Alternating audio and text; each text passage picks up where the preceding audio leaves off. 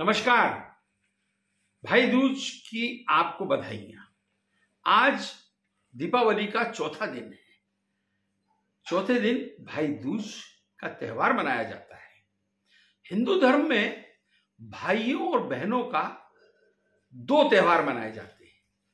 एक राखी जो श्रावण के महीने में मनता है, पूर्णिमा पर, और एक कार्तिक महीने के अंदर दिवाली के दो दिन बाद भाई दूज बनता है।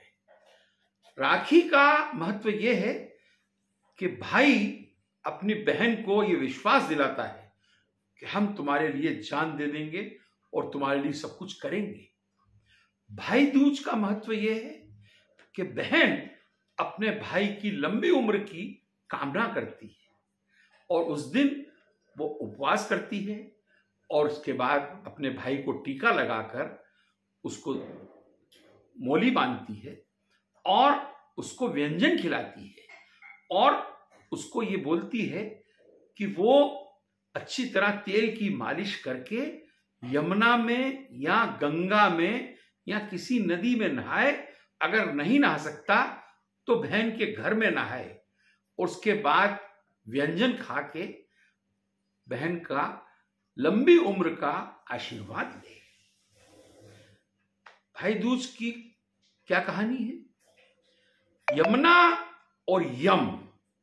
ये दोनों बच्चे हैं छाया के। छाया कौन? सूर्य की बेटी।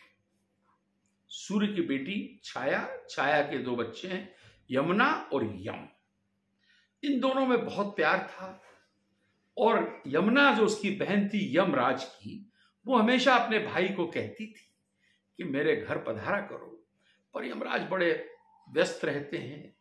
बहुत समय नहीं मिलता है।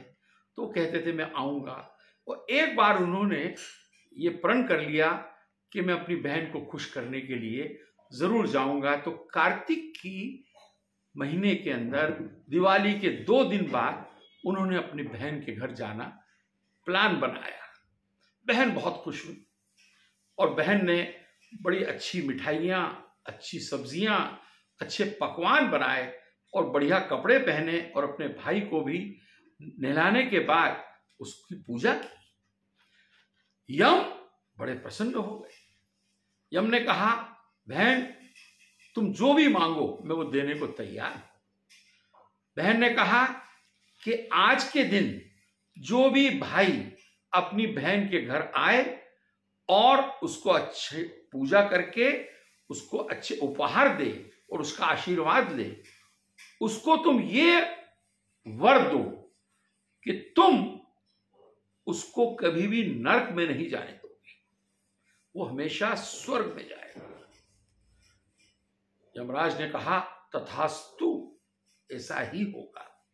तो आज के दिन भाई दूज के दिन, जो भी भाई अपनी बहनों का आशीर्वाद और प्रेम पाते हैं, उनको अच्छे अच्छे उपहार देते हैं और उनके घर जाके पूजा पाठ करते हैं, उनको भगवान भी सीधा स्वर्ग में ले जाता है।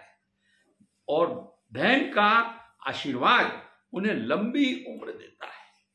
भारतीय संस्कृति में सबसे खूबसूरत बात यही है कि हर त्योहार के पीछे कोई कथा या कोई इतिहास है। आप सबको भाई दूज की हार्दिक बधाइयाँ।